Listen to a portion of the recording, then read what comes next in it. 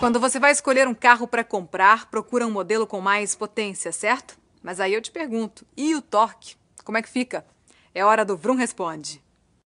Ei, pessoal, hoje eu quero abrir o Vrum Responde com uma pergunta que eu tenho certeza que muita gente não sabe a resposta. O que é mais importante, potência ou torque?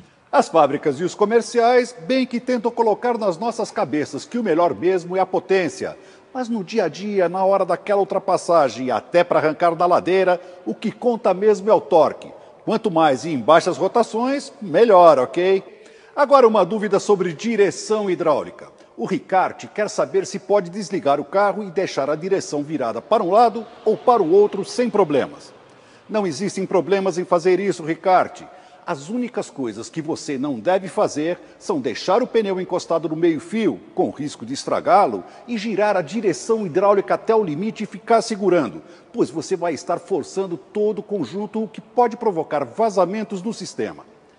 Já o Luiz Felipe está preocupado se deve ou não passar óleo diesel nos pneus e nas caixas de roda do carro dele.